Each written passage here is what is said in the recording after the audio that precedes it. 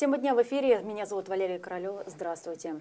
Сегодня мы обсудим из самых, один из самых злободневных вопросов. Это лишний вес и как же с ним бороться. И надо ли вообще в принципе эту борьбу начинать.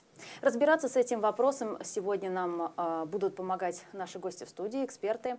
Это врач-диетолог, эндокринолог медицинского центра на здоровье Енина Лемешко. Здравствуйте. Это человек, который знает о спорте все, фитнес-тренер Александра Николаева. Здравствуйте. И человек, который испытал э, все прелести похудения на себе, что называется, на своей шкуре, это тверской блогер Дарина Цыганова. Добрый день. Итак, э, Дарина, я думаю, что логично начать с вас. Да? Вы человек, который прошли э, эту, этот путь, э, эту борьбу. На всю жизнь борьба. На всю жизнь. А, итак, давайте начнем с того, да, с чего, в принципе, началось ваше похудение. Почему вы решили начать худеть? А, о похудении я задумалась после того, как у меня родился ребенок. Ну, решила уже конкретно попробовать раз и навсегда, потому что до этого были какие-то попытки были, но это были жесткие диеты, эндокринологи, ну, то есть постоянно искали причины, не могли понять, какие-то диеты мне прописывали. И везде, ну, в основном был голод, то есть, ну, очень сильное ограничение, и непонятно, почему ты не можешь это есть, вот это ты должен есть, а почему тебе нельзя это и так далее. Вот. И муж тоже у меня имел лишний вес, то есть мы с ним вдвоем весили по 130 килограмм. Мы решили, что мы не хотим быть такими родителями, хотим все-таки, чтобы, блин, на 1 сентября мы пошли, и, ну, мы чувствовали себя комфортно, наш ребенок нами гордился, и вот ну, хотелось быть подвижными родителями, все-таки молодые, нам тогда было по 24 года, 25, и, а выглядели мы, конечно, намного старше, учитывая вот этот вес, он нас очень старил. А можно еще такой вопрос? А у вас причи... Э, проблемы с лишним весом всегда были? Или они как-то вот после родов, да, как обычно нет, женщины? Нет, я поправляться начала, значит, у меня развелись родители. Большую опеку на меня взяла бабушка. Она видела голодные времена, в общепите работала, она постоянно меня закармливала. То есть прям вот такие порции большие она мне накладывала. Папа всегда говорил, куда ты есть столько. И я уже в тому времени такое, ну, мне было лет семь, я уже под 40 весила такая была пухляж прям.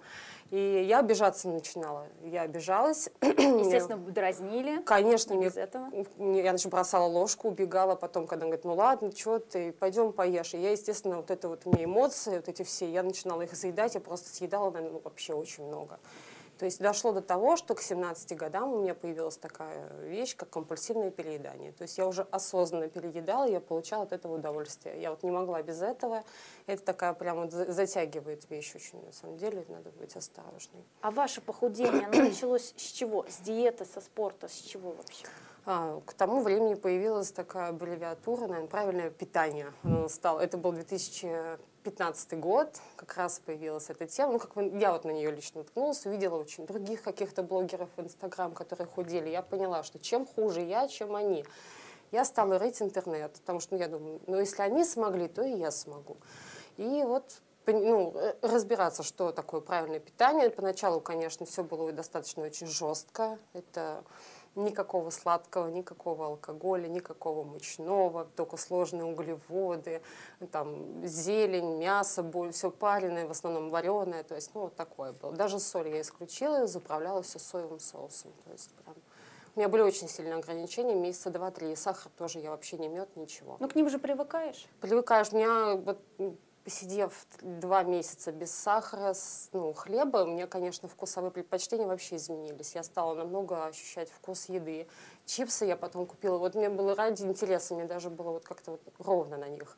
И я их попробовала, они показались такой гадостью. То есть даже непонятный вкус, это, ну, не было у этого вкуса.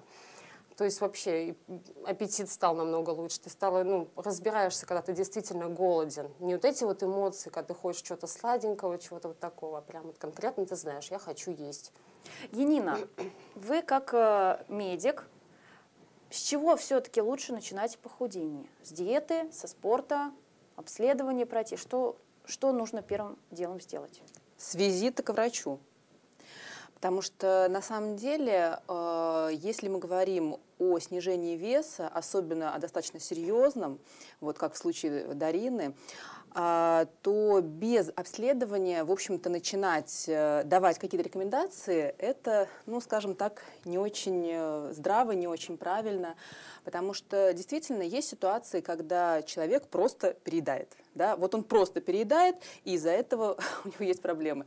Вот. Но бывают ситуации, когда действительно а, есть определенные э, проблемы со здоровьем, и решая вот эти проблемы со здоровьем, мы решаем проблему лишнего веса. И зачастую, скажем, когда приходят пациенты ко мне, э, они приходят ко мне за снижением веса, а мы начинаем решать совершенно другие проблемы, потому что, обследовавшись, а, мы выясняем, что есть гипофункция щитовидной железы, которая приводит к набору веса, есть инсулинорезистентность, которая приводит к набору веса. И компенсируя вот эти состояния, мы можем а, добиться очень серьезного снижения веса таким вот естественным путем. Лечением лечением едой, лечением едой именно. Потому что все равно здесь основная ситуация заключается в том, что наша еда становится нашим лекарством, а лекарства или добавки, они уже идут как в помощь более рациональному питанию. Угу. Александра, спорт эффективен при похудении? Ну, И смотрите, какой именно? Да. Я хочу с чего начать, что да, я абсолютно согласна, что есть процент а, людей, у которых лишний вес, он связан со здоровьем. Я являюсь не только тренером, но и директором спортивного комплекса. Вот. И, соответственно, это уже 6 лет, я наблюдаю много гостей. А, из 100% ну, 5% имеют действительно какие-то серьезные показания со здоровьем, которые не дают возможности похудеть. В основном э, остальная да, вот масса людей, которые худеют, они просто кушают неправильно. То есть проблема у них в том, что вот это быстрое питание, сладости и как бы вот результат на лицо. Но люди, когда начинают заниматься, у тех, у которых нет таких проблем, да, у них результат уже виден на третьем месяце. То есть спорт, конечно, делает свое дело, ну и, соответственно, мы тоже работаем не только спортом, но и питанием, поэтому результаты у людей очень хорошие. А с чего э, обычно начинают, да, вот свою спортивную жизнь? Это с тренажера, бег, упражнения какие-либо, пилатес, с чего? В комплексе, начинаем в комплексе, опять же, тут зависит все от того, какой человек пришел, с каким лишним весом, да. А, если там 10 килограмм, это одна нагрузка, если это 20 килограмм, то это другая нагрузка, а если там 50 килограмм, то это вообще совершенно третье. То есть тут настолько все индивидуально, э, нельзя, нельзя всех вот... Э, Под одну гребенку. Да, да, да. То есть э, нагрузка, она будет рассчитываться да, из изначального Конечно. веса. Понятное дело, что полного человека, его с совсем излишним весом, да, когда его очень много, его не поставишь на какой-либо тренажер. То есть тут изначально... Ну, вы знаете, тут индивидуальный подход. Вот у меня мальчик есть 120 э, килограмм, 21 год. Но у него проблема не только в еде, у него еще проблема в голове. Да, это тоже есть проблема. Тут нужно работать и психологу, и спорту, и диетологу. Если мы говорим о таких, это единичные случаи, да, то здесь совершенно другой подход к человеку.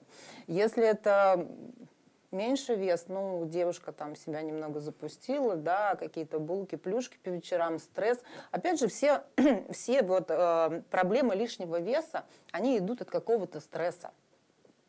То есть никто просто так от хорошей жизни не заедает шоколадки по ночам. Да? То, то есть если просмотреть корень проблемы, то очень быстро можно выстроить и вес вернуть, а, Дарина, вы за собой замечали такие проблемы, да, заедание стресса? Ну, да, Конечно, если с родителями э, бабушка воспитывала, Родители, это уже стресс для ребенка. потом, когда, конечно, я уже... Бабушка, ладно, родные есть родные, Э, тут же В нашем обществе поругали. нет толерантного отношения Конечно, к людям в школу, когда весом. я пришла, я столкнулась с агрессией с детской, мне пришлось есть уже. Я в школе стеснялась есть, потому что куда ты ешь, куда тебе есть. Ну, посмотрели на себя. Я приходила домой и съедала целого слона, потому что я весь день была голодная, и в итоге весь свой рацион с э, еще и плюсом.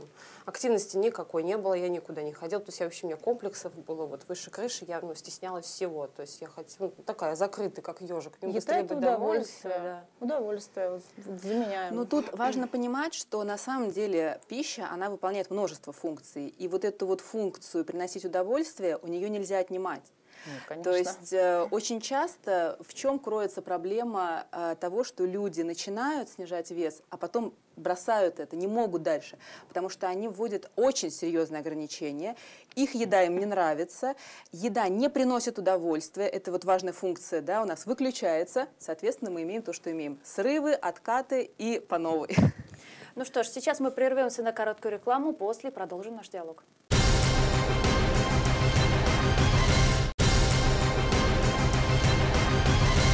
Мы продолжаем наш разговор. Тема дня сегодня – это правильное и, самое главное, безопасное похудение.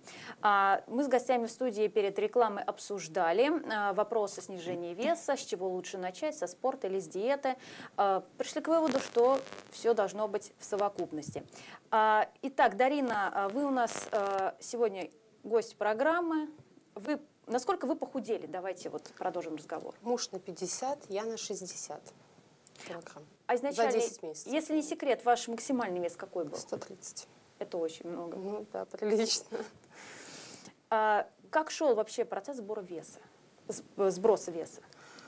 прекрасно. Тут очень, при этом я не голодала. Вот когда я вот все это ну, начала брокколи, цветная капуста, все вот, ну, отварное, ну, вот такое вот, там, морепродукты стала больше потреблять, там, жир исключила животный, больше растительный, ну, вот, прям вот я прям, все как-то четко у меня было, чисто и четко.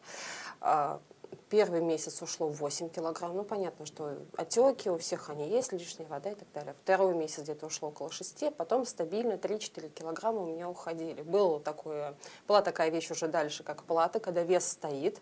Ну, я грешу на то, что, конечно, я не доедала калории, плюс у меня была физическая активность, я очень много ходила.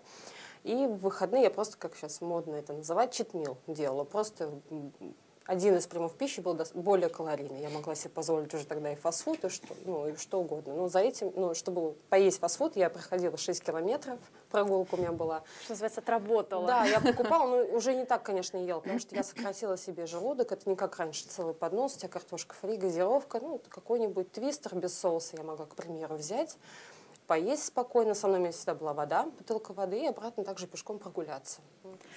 Если секрет, ваш вес как на сегодняшний день держится?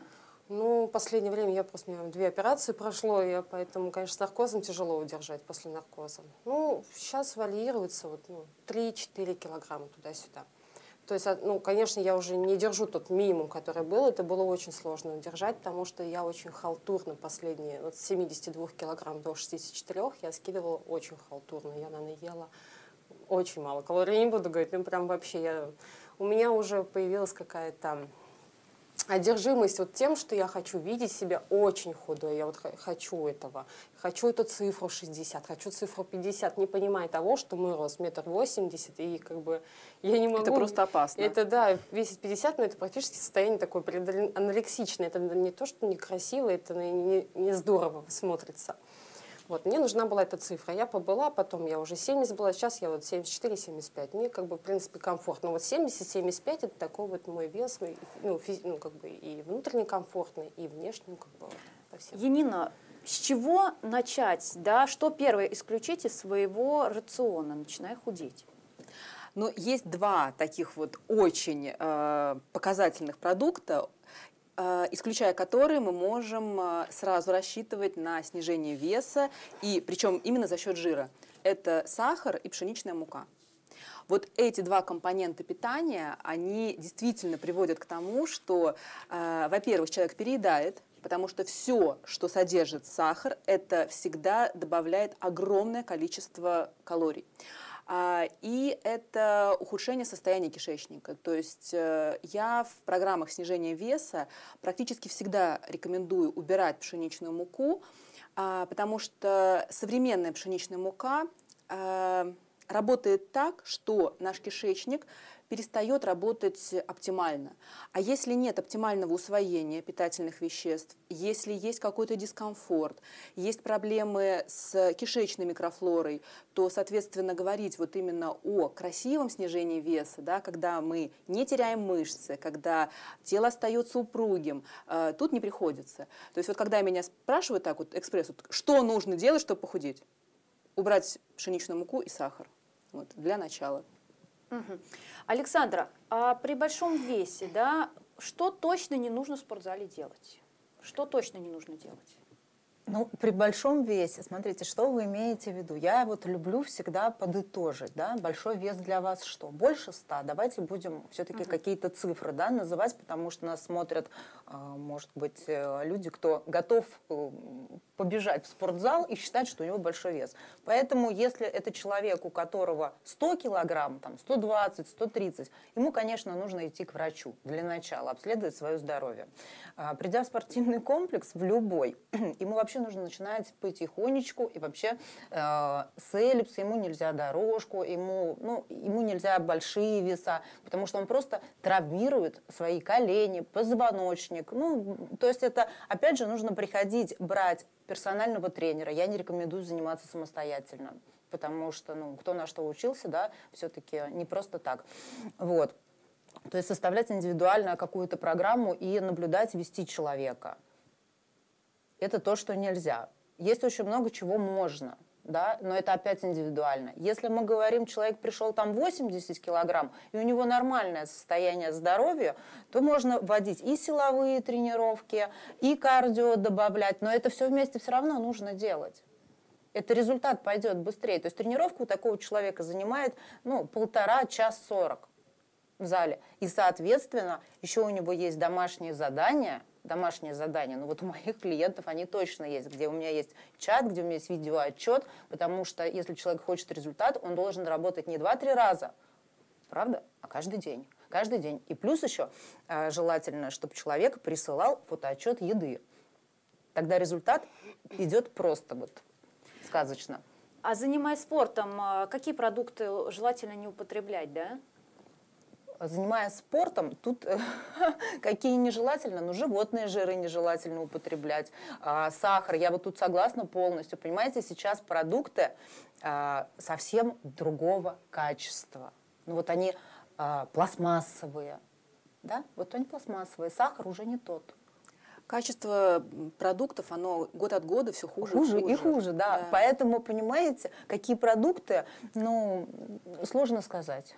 Сложно сказать. Ну, вот здесь я с Александрой э, не соглашусь насчет животных жиров, потому что тут важно понимать, что мы должны поддерживать гормональную функцию, независимо от цели человека, да, будь то снижение веса, будь то поддержание хорошей физической формы. Э, дело в том, что именно животные жиры являются источником холестерина. Что такое холестерин? Это субстрат для образования гормонов. И исключая полностью животные жиры, мы можем э, очень серьезно повредить э, нашей гормональной системе. То есть тот же самый тестостерон, который обеспечивает рост мышц, да, он э, будет снижаться, соответственно, рассчитывать да, на серьезные, э, так скажем, э, улучшение качества тела нам не приходится. То есть здесь я, наверное, была бы поосторожнее с формулировками. Нет, ну, знаете, я имею в виду, что их нужно вести на период, когда хочется сбросить вес, да, то есть мы исключаем мороженое, мы исключаем сметану, то есть это те продукты, которые, ну, они не дадут быстрого результата привести фигуру в порядок. А, например, кефир все любят при похудении? Пожалуйста, пожалуйста, я не против кефира. Есть люди, кто не может, там, допустим, без молочных продуктов, да, по здоровью. Таких людей много. Поэтому кефир однопроцентный, пожалуйста, творог. То есть это позволяется при тренировках, э, при физической нагрузке. Самое главное – это пищевой мусор. Его не должно быть ни у кого. А что, что это, например, такое? А, ну, к пищевому мусору я отношу любые продукты, содержащие трансжиры. То есть что такое трансжиры? Это как раз вот э, жиры, а, прошедшие а, такую вот промышленную переработку и Э, обладающие вот таким определенным негативным влиянием на организм. Да? То есть э, я не против, например, э, того же самого бургера, да? но если это бургер сделан из качественного мяса, с, со свежими овощами, не с майонезом, да, а, скажем, там, с домашним майонезом на основе оливкового масла. Готовьте сами. Вот смотрите, да. можно готовить дома самостоятельно, там, ту же там шаварму, не знаю, приготовить. Да? Альтернативную. Курочку там пожарили, овощи загрузили, лаваш тоненький купили, он там минимум калорий, и э, на обед скушали. Самостоятельно приготовили. То, что у нас продается в магазинах, и вот, э, ну не будем да, называть название, это нельзя есть. Это в принципе любому человеку нельзя есть. А, Енина, а эффективно ли то самое вот дробное питание, да, сейчас о нем все часто говорят, э, дробное питание, что оно вообще подразумевает под собой и есть ли в нем смысл? А, скажу сразу, что я не сторонник дробного питания. А, более того, я очень часто вижу, как э, дробное питание приводит к очень серьезным изменениям, э, негативным изменениям в здоровье, а, таким как э, повышение уровня инсулина и прибавка в весе. Вот, то есть дробное питание показано определенным категориям граждан. Это пациенты с заболеваниями ЖКТ, в стадии обострения, это люди с дефицитом веса, это дети. Вот это три группы э, люди, людей, да, которые вот э, действительно нуждаются в этом. А всем остальным чаще всего дробное питание, оно э, не очень нужно, не очень показано, и я все-таки рекомендую ориентироваться на трех-четырехразовое питание. А как насчет того, что нельзя кушать после шести? А, но если вы ложитесь в 9, то да, после 6, наверное, не стоит. А, опять же, мы смотрим по режиму. То есть, э, если вот человек ложится там в 10, э, там, в 11, 12, ну, я рекомендую за 3-4 часа до сна, чтобы был последний прием пищи. Вот. Конечно, яблочко на ночь э, – это худшая рекомендация, которую можно дать любому, худеет он или, или не худеет. А, Дарина, вот оглядываясь назад, да, а, вы все-таки какую вот причину назовете, да, что вы э, не могли похудеть раньше, да? Вы же все равно пытались это сделать? Ну, конечно, ну, не было понятия такого правильного питания. У моей бабушки правильное питание это было пюре с утра с курицей, компот, плюшка сверху на компот, потом еще чай с пятью конфетками. То есть питания было, не было вообще. Что такое правильное питание, я не понимала. В моем понятии это правда было пюре, какой-нибудь гуляш, там макароны. Первое, второе, Да, компот, и хлеба еще сверху, и булочку тебе дадут. Ну, то есть вот так вот. То есть не было понятия. И что надо есть обязательно. Ты, ты должен есть и первое, и, ну, как бы, и завтракать ты должен обязательно, обязательно у тебя обед должен быть, и вот ужин такой, еще перекусы у тебя должны быть, обязательно должны быть. То есть, ну, бабушка всегда боялась, что я буду голодной останусь, переживала. А сколько у вас вообще времени ушло, да, чтобы скинуть э, 60 килограмм? 10 месяцев у нас ушло, очень быстро, 10 месяцев. И все, потом 4 года я удерживала, потом у меня пошло, поехала уже такая более интересная жизнь, тут немножко расслабился, и пошли, конечно, стрессы у меня очень сильные. Потом операции у меня пошли, по, уже пластические по удалению кожи, тоже с не очень хорошими последствиями. Я такой прям долго депрессии была. Вот, что мне, конечно, тоже дало такой толчок, то, что я немножечко вес у меня он скаканул. А, вот. Янина, как вот вы можете прокомментировать, да, а, смотрите, то есть 10 месяцев это 60 килограмм. Это же Это быстро, да, это действительно очень э, высокий темп, и э, с точки зрения диетологии, с точки зрения физиологии, э, это, конечно, нежелательно. Вот, потому что действительно э, наш организм э, воспринимает э, снижение веса как стресс, и если у человека он уходит действительно очень-очень быстро, то органы, кожа, они просто не успевают да, адаптироваться к новым э, параметрам. Ну, там вот. уже физически никак. Это, всего да, есть, конечно, предел. Да, поэтому, э, конечно, я не рекомендую вот своим пациентам очень быстро э, снижать вес. Если я вижу, что у них вес уходит быстро, то я рекомендую, чтобы это все-таки, может быть, побольше было белка в рационе, может быть, ввести какие-то э, там э, дополнительные э, калории. Вот. И э, обычно это все-таки где-то от полутора до э, там, трех килограммов в месяц. Это, Это независимо нормальный от, темп. Независимо от исходного веса, да? Не, ну, конечно, если там лишних всего 5, то и полкило уже будет успехом. вот. Ну, в случае, если это большой вес изначально, то э, от полутора до трех килограммов это безопасно. Александра, а можно как-то своей коже да, подкорректировать то, что, естественно, она висит? ну, смотрите, какая ситуация. 130 килограмм. Ну, все же мы разумные люди, да? Там вот, вот что бы ты ни делал, ты не подкорректируешь кожу. Мышцы, да. Поэтому, ну, на мой взгляд, результат шикарный. За 10 месяцев 60, да, 60 получается да. килограмм. Ну, это здорово. Там уже изначально, даже вот в первый день, если бы вы ко мне попали, я бы сразу сказала, что без хирурга не обойтись. Но это правда жизни. Поэтому то, что так хорошо уходило на каких-то вот таких мотивациях, да, хочу быстрее, ну, для меня это здорово, заслуживает уважения. Ну, жалко, что там получилось вот так с процедурами. Ну, так, да, классно. А по поводу того, что так быстро уходит вес, но если люди занимаются, там, у них э, лишних 20 килограмм, он никогда в жизни так просто быстро не уйдет. Вот тренировками, питанием он не уйдет. Люди иногда сбрасывают действительно полкило, килограмм, и для них это праздник. праздник. А с чем это связано? Веса много. Чем больше веса, тем легче он уходит. Угу. Чем его меньше, тем, конечно, нам сложнее. Вот мне, чтобы сбросить там 500 грамм, знаете, как мне нужно стараться? Очень сильно, очень сильно. А, Дарина, у вас э, вот что называется, да, плоды вот этого похудения, это висящая кожа. Ну, если Ну вот да, ну откровенно, да. да. А вы как-то еще пытались э, подкорректировать, или это только исключительно хирургически? Ну, блин, вот многие боятся обвисшей груди после родов. Женщины боятся, но это физиологически как бы заложено. Да. Потому что если маленькая грудь, понятно, что она будет на том же месте, где и есть. Когда у тебя восьмой размер, седьмой, он не будет никогда красивым, ну, говорят, стоячая грудь. Это будет где-то на уровне пупка. Естественно, когда ты худеешь, у тебя остаются какие-то тряпочки от груди, уже ее нет, потому что жировая ну, прослойка, она уходит. Также животом, он уже в натянутом состоянии, вот такое пузо было, то есть оно, жир ушел, кожа осталась, но она немножко, понимаешь, она не такая, как вот, вот но она подсократилась, но она, то есть ты Фартук. наклонился, ты ее можешь оттянуть, но это никуда не денется. То есть единственный выход – это либо принять и с этим жить. В принципе, я себе и так принимала. То есть у меня 50 на 50, если мне выпа- выпадет случай, что мне сделают операцию, хорошо. Нет, я буду также себя любить и также дальше жить. Это никак не влияет ни на мою самооценку, ни на отношения с мужем, обществом, то есть никак. Ну, к этому надо быть готовым. Если вы много наели, будьте готовы к тому, что вот вас что-то ждет. Но это не страшно, это не смертельно. В любом случае лучше быть как бы доволен. Ты влезаешь в вещи, которые ты хочешь. Чувствуешь себя налегке.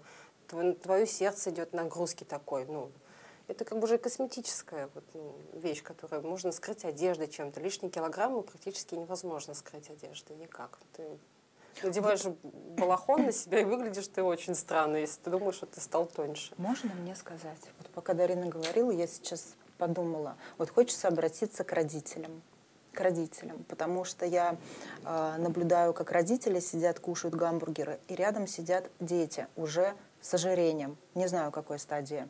И вот хочется обратиться да, на историю Дарины, чтобы родители задумались, потому что ребенок, он еще не понимает, а, да, как- ну, что будет, и конечно. вот э, какие проблемы потом возникнут, там, даже когда он похудеет, чтобы родители как-то начали следить за питанием, за своим, своим примером показывали. Я вот каждый раз это говорю, да, э, мне прям просто жалко. Я смотрю на нынешнее поколение детей, и мне становится страшно. Вот поверьте, мне просто становится страшно. У них уже ожирение в 9-10 лет. И они еще гамбургер едят. Культура питания, она практически отсутствует как таковая в нашем обществе. И, э, скажем так, а, даже обращаться к таким родителям, в общем-то, это достаточно Ну, бессмысленно. Потому что если они изначально сами не знают, на что обратить внимание, как откорректировать свой рацион, и вообще зачем это нужно, Не хотят, А, может быть, не то, что не знают. Настолько сейчас мы живем в том веке, где это все доступно, вся эта информация. Такие вот истории, если раньше мы этого не видели, то сейчас очень много программ, когда действительно ожирение доходит до того, что люди просто умирают, либо операции сложные, они не могут выйти из дома. Да, не надо просто допускать такого. Ну вот э, можно же на корню там как-то остановить. Многие говорят, денег нет, что питаться правильно дорого. Неправда это все? Это, да, неправда, действительно. Это, неправда. это действительно неправда. Это такое заблуждение, которое оправдывает, наверное, лень и нежелание да, удобно, что-либо удобно делать. так говорить, да, удобно так говорить. Это неправда, можно питаться, э, мне кажется, даже дешевле, нежели вот э, Да. гамбургеры, там, кока-кола и так далее, если сравнить Если цены. можно, я э, расскажу один такой случай. А, у меня была пациентка, которая а, пришла ко мне, значит, после того, как я составила рацион, дала все рекомендации на повторный прием, и она говорит, вы знаете, я не буду придерживаться ваших рекомендаций, потому что это дорого. Я говорю, окей, э, вы считаете, что это дорого, а, но давайте разберемся. Вот вы пришли ко мне и сообщили, что в день вы съедаете 500 граммов конфет шоколадных по 1000 рублей за килограмм. То есть в день вы пустых калорий съедали на 500 рублей. И вы хотите сказать, что то, что я вам рекомендую на весь день, стоит дороже 500 рублей? Я говорю, это неправда. Это неправда, и вы сами это понимаете. А, Ну, конечно, ей не нашлось, что ответить на мое возражение, но это действительно э, очень часто является просто вот э, таким вот э, Ленью, удобной да. отмазкой Да, для да. того, чтобы ничего не делать. Конфетки раз разворачивай до трескай, да, а тут надо приготовить, что-то сходить. Усилия приложить. Плюс продукты Да. есть заменяемые. То есть кто-то думает, кто-то Конечно. может есть индейку, кто-то может позволить себе курицу. То есть ну, всегда есть выбор у человека. Да, да. Янина, а много верно. ли все-таки детей, подростков, да, с таким серьезным ожирением? К сожалению, сейчас действительно очень много, и тут много причин. А, первое – это, естественно, то, что огромное количество продуктов, содержащих сахар, да, и эти продукты доступны. А, я вам больше скажу, 80% а, продуктов в магазине содержат добавленный сахар. А, и второе – это вот отсутствие культуры питания в семье, когда действительно ребенок не знает, на что ориентироваться. Дети не умеют есть овощи, дети не умеют есть просто мясо или просто рыбу. Они уже привыкли ко вкусу искусственной еды, они привыкли ко вкусу э, глутамата натрия, они привыкли вот к тому, что это должны быть какие-то вот специальные э, вкусы, тогда им это будет нравиться. Вот. Действительно, сейчас очень много э, пациентов э, таких вот очень молодых, э, 18-летних, да, которым я устанавливаю диагноз сахарного диабета, хотя еще 20 лет назад это было нонсенсом считалось, что сахарный диабет второго типа – это да, болезнь пожилых, это болезнь заката жизни. Нас учили так на кафедре эндокринологии. Сейчас огромное количество детей с сахарным диабетом второго типа, приобретенного, который является болезнью потребления. Это исключительно избыток сахара в рационе. Вот кто бы что ни говорил. Наследственность здесь ни при чем. Можно иметь идеальную наследственность и быть сахарным диабетом второго типа в любом возрасте, да? а можно иметь очень плохую наследственность. Но если ты знаешь о том, что у тебя есть предрасположенность к лишнему весу, предрасположенность к сахарному диабету, и ты задумываешься об этом э, вовремя, ты имеешь все шансы быть абсолютно здоровым, счастливым и стройным. А, Янина, вот многие да, говорят, что я поголодаю, да, и у меня-то вес уйдет. Естественно, человек потом начинает, он же не может человек, в принципе, без еды, да, он все равно начинает что-то кушать, и вес у него начинает да. расти еще с удвоенной силой. Да. И прибавляет, то есть там ушло 10 килограмм, он свою диету закончил, какую-то зачастую придуманную самим собой, да. и э, набирает еще больше. Ведь голодание, оно же э, замедляет метаболизм? А, да, действительно, такое есть. А, причем я объясню, с чем это связано. То есть вот а, очень гипокалорийные диеты, да, когда питаются длительное время там, на 500 килокалорий, голодание длительное время, оно приводит к тому, что у нас изменяется наш гормональный фон. То есть наша щитовидная железа начинает вырабатывать другие гормоны, а именно обратный или реверсивный триодтиранин, который замедляет обмен веществ. И еще один момент.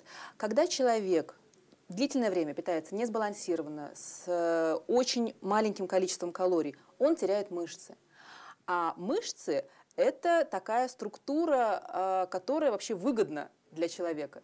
То есть человек с мышцами сжигает даже в покое больше.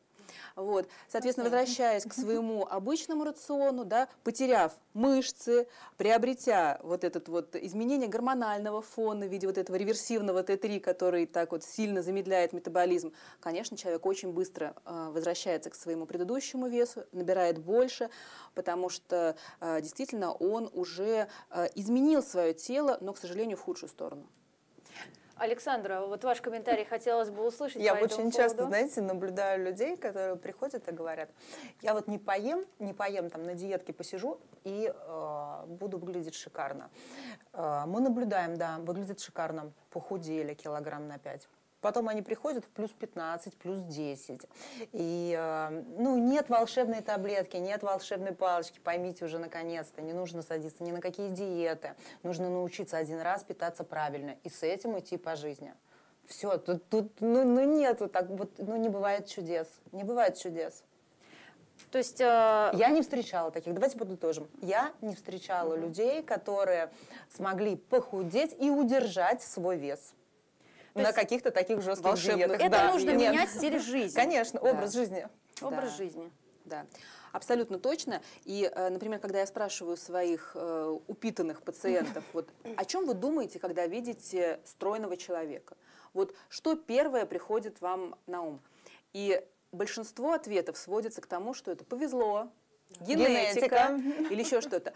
И тогда вот я говорю, а вот вы задумайтесь просто над тем, что Сколько трудов? А, вот если вы видите там, скажем, стройную 18-летнюю девушку, да, это, скорее всего, будет повезло и генетика. А если это, например, уж 28, 38 или больше, то вы должны отдавать себе отчет, что это серьезная ежедневная работа. а не повезло. И если вы готовы к этой работе, вы включаетесь в нее, и вы будете иметь такой результат рано или поздно. Вот перед нами Дарина, она Все как раз могут, да? да, это это вот, ответственность э, называется. показывает. Ответственность. Да, если вы к себя. этому не готовы, соответственно, вот начинаются поиски волшебных таблеток, волшебных диет и э, разочарования. И реклама очень хорошо работает. И люди очень хотят сидеть на диване, ничего не делать и быть стройными. Александра, вы э, часто наблюдаете да, за худеющими в том числе. Кто все-таки быстрее худеет, мужчина или женщина? А, Тут нет такого, кто быстрее худеет, мужчина и женщина. Кто подходит ответственно, ответственно к этому процессу. У того и результат на лицо. А сам по себе организм, э, Енина, мужской, женский, да, он же одинаково все-таки реагирует на диеты, на А, ну, вот э, здесь мое личное наблюдение все-таки показывает, что мужчинам похудеть проще. А, Во-первых, у мужчин изначально более высокий метаболизм, то есть у них основной обмен гораздо выше, чем у женщин.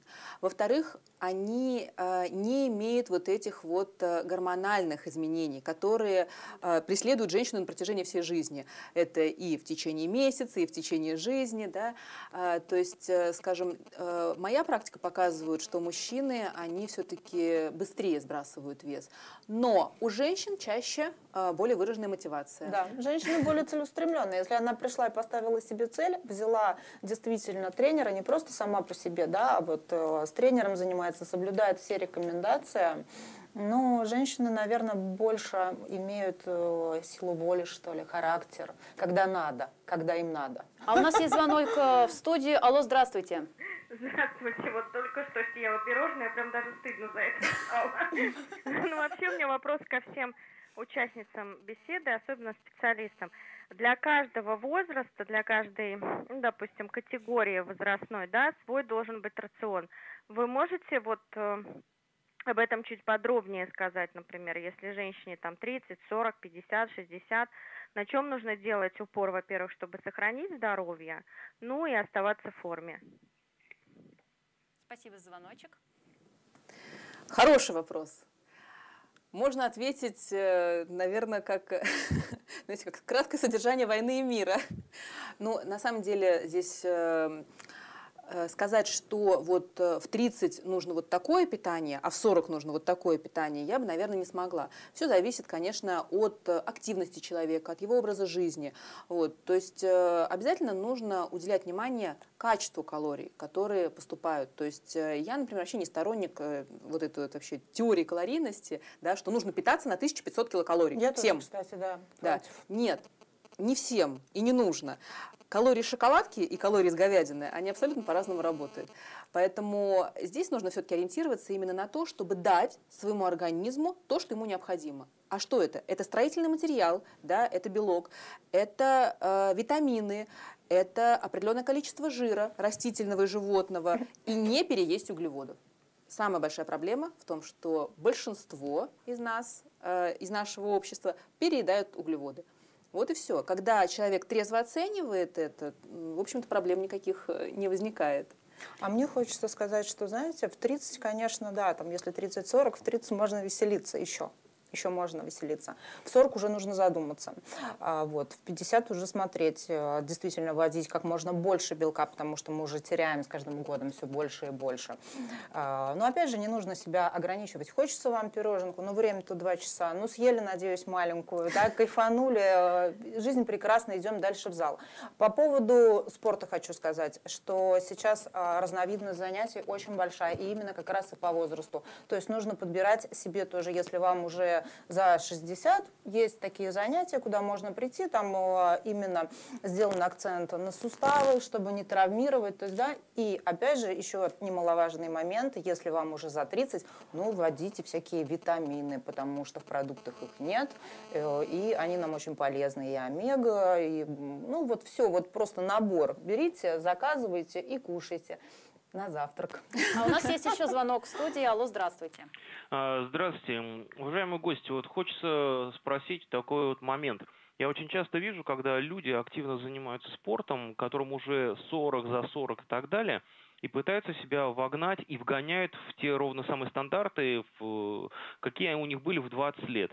Но лично, на мой взгляд, это не всегда красиво выглядит, потому что, ну, просто кожа уже не та, то есть, и, то есть это не очень эстетично, на мой взгляд. Вот согласны ли вы с тем, что вот говорят, что все-таки когда за 40 какой-то жирок должен быть, ибо, ну, не, невозможно выглядеть, когда тебе 40-50 лет, в тех же кондициях, когда, как тебе 20 лет. Именно с точки зрения эстетики. Спасибо большое.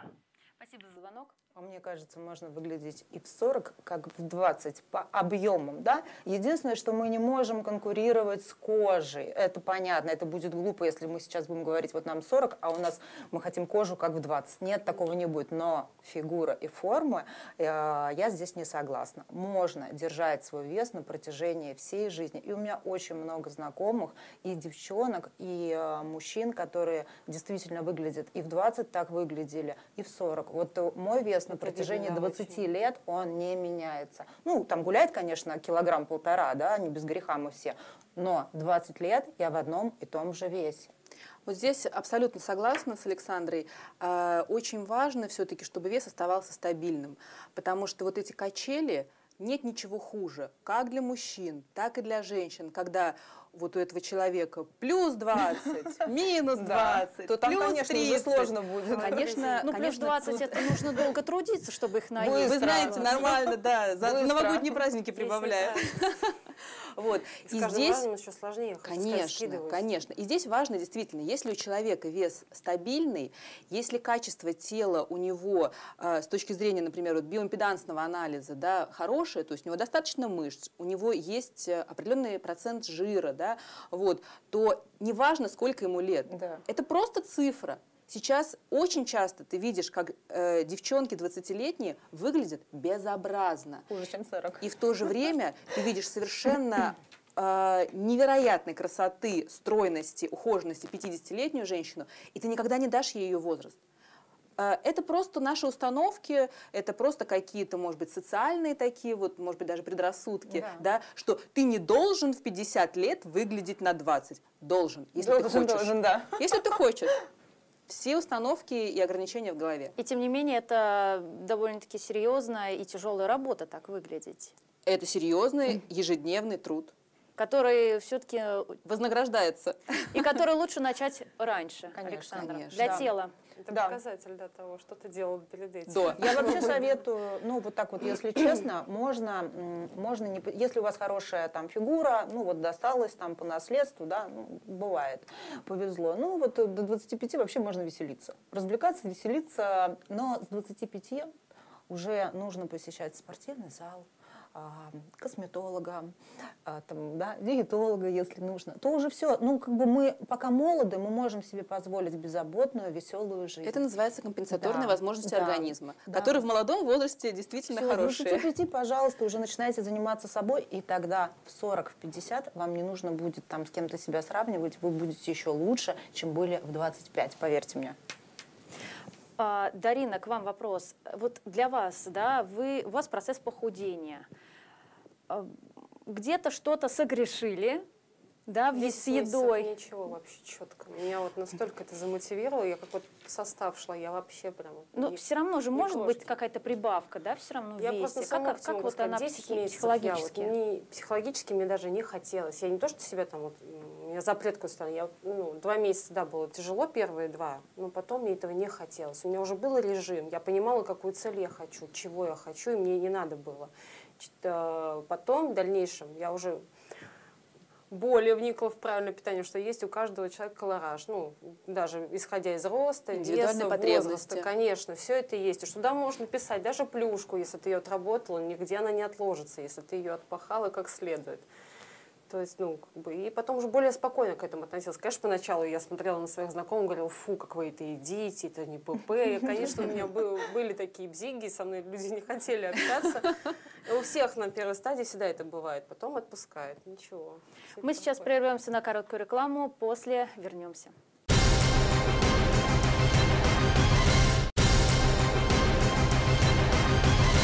Мы продолжаем наш разговор. А, Мы обсуждали сегодня на протяжении программы, как э, правильно худеть, а главное безопасно, что делать нужно, что не нужно. А, Итак, мы э, подытожим наш разговор. Хотелось бы услышать советы да, нашим э, телезрителям. Э, вот, Енина, вы как э, врач, диетолог, что бы вы посоветовали тем, кто начинает худеть? Или те, кто собирается? А, ну, я бы посоветовала все-таки обращаться к профессионалам. То есть мало кому приходит в голову лезть за пассатижами, если заболел зуб, да, и вот самостоятельно себе этот зуб э, выдергивать. Вот. А мало кто подходит к зеркалу и отстригает себе да, волосы, вот, идут к парикмахеру. А, точно так же и здесь. Очень много подводных камней, которые могут э, помешать вам на этом замечательном пути. Потому что действительно а, следить за своим рационом, подходить к питанию осознанно, это очень важно, это очень а, нужно, это дает нам, а, нашему телу возможность оптимального функционирования. Это дает нам возможность не допустить развития огромного количества заболеваний, вот этих болезней цивилизации. Поэтому Придите к диетологу, э, разработайте рацион, поймите, что вам наконец нужно, потому что сейчас в этом обилии информации разобраться очень сложно. И мне действительно жалко людей, которые бросаются во все тяжкие, в одну диету, в другую диету, все бросают, разочаровываются.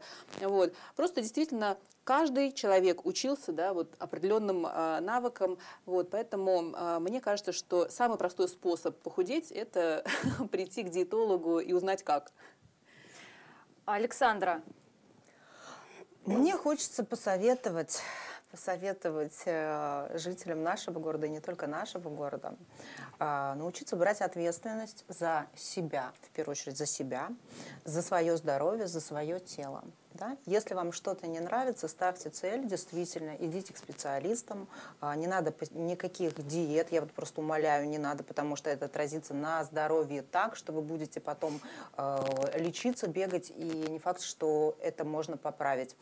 Вот. Ставьте цели, идите к ним, ищите людей, которые помогут, которые будут вас мотивировать, приходите к лучшим, потому что ну, если вы будете с лучшими, результат будет быстрее.